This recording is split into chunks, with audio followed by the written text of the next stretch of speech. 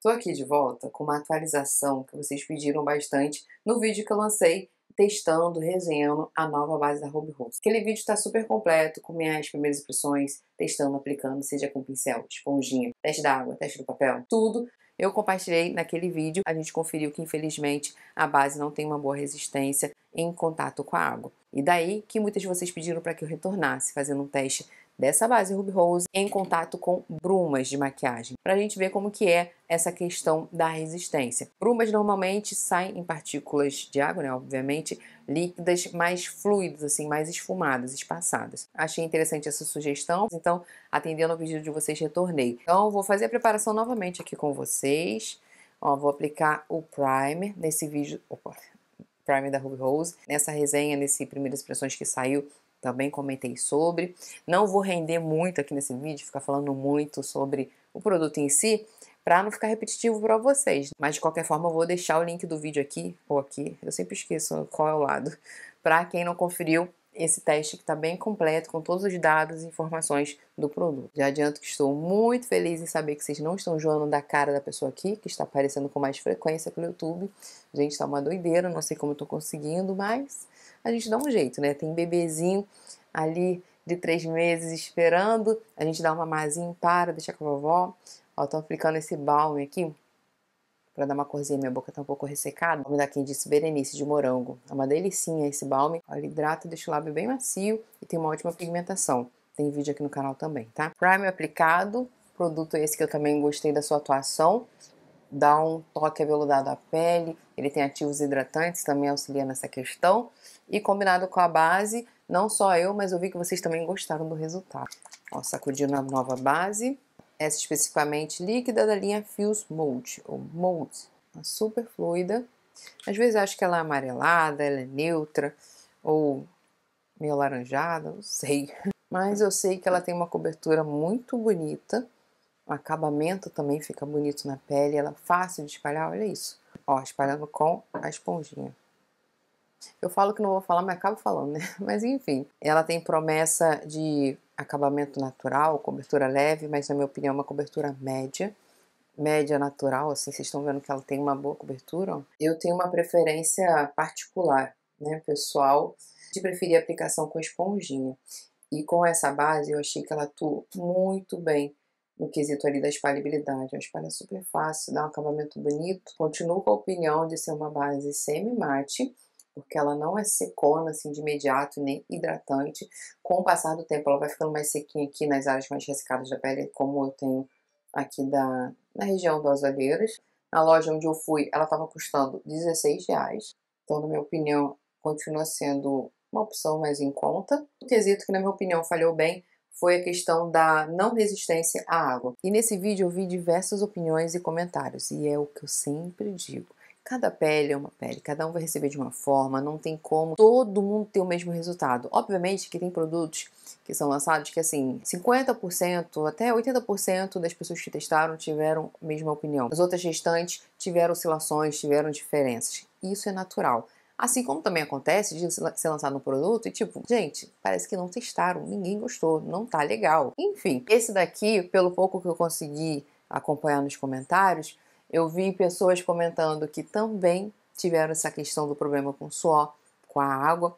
Fizeram até um teste na hora que viram o vídeo, de fato viram que ela meio que desmanchou, né? Ficou com marcas esbranquiçada e, e, depois escorreu.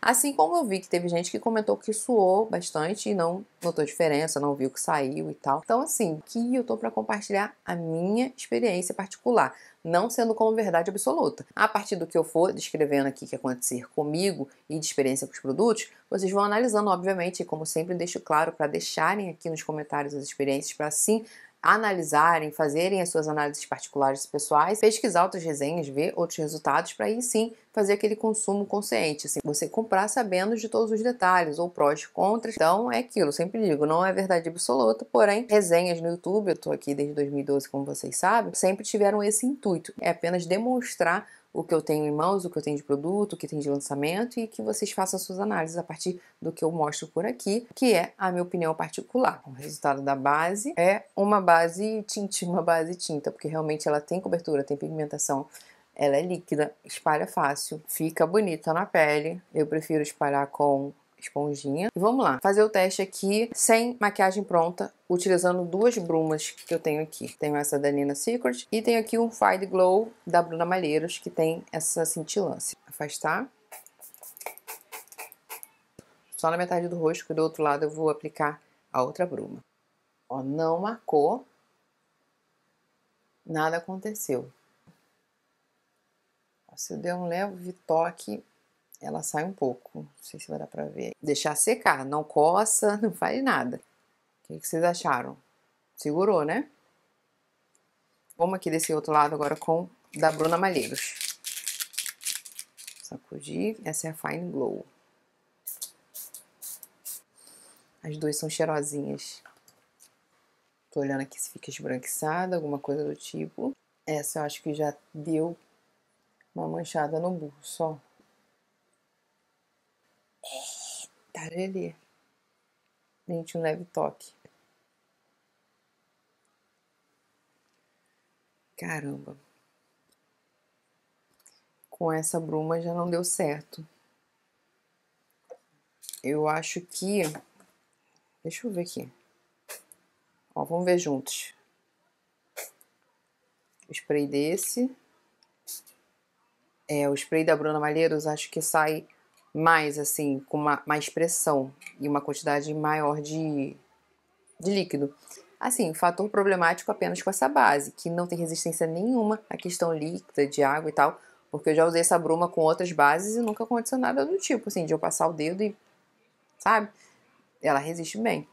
Mas, ó, ainda bem que testamos aqui com duas opções, hein? Então, assim, testei com a bruma. Acho que essa questão vai depender da bruma, né? Porque tivemos duas opções, dois resultados.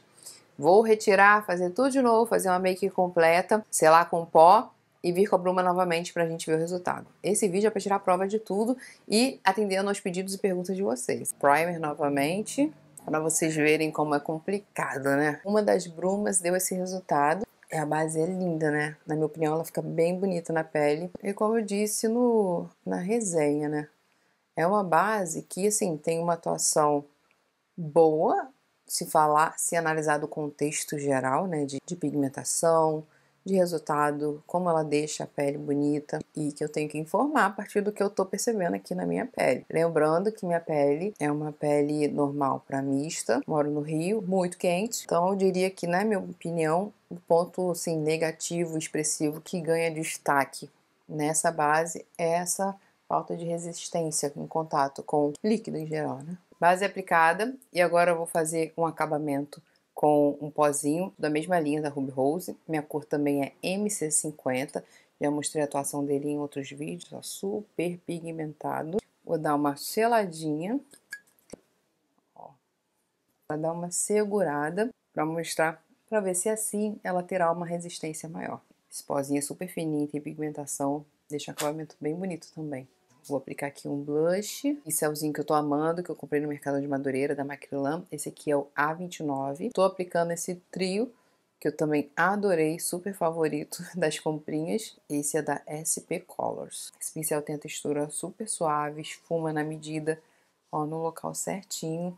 Uma esfumada aqui, outra aqui, dá uma profundidade. Máscara novamente, Maybelline. Os lábios eu vou me manter com balm, tá?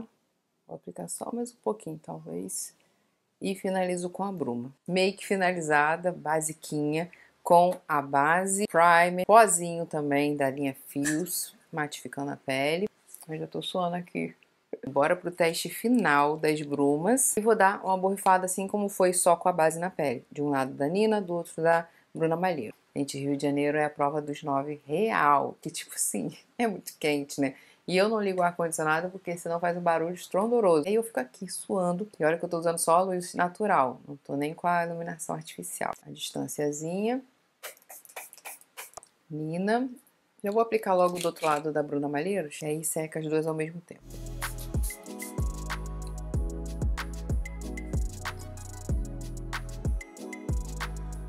Da Bruna Malheiros já fica aqui a comparação né, entre uma e outra. Para quem gosta de glow, Olha como reluz na pele. dá um aspecto molhadinho com brilho. Da Nina já comentei por aqui, né? Uma das minhas favoritas. É sem glow, é mais naquela pegada de hidratar, de refrescar a pele, tirando aquele efeito matificante de pó. Bem, não escorreram.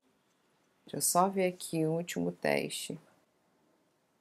Gente, da Bruna realmente não arrisca em passar o dedo. Da Nina,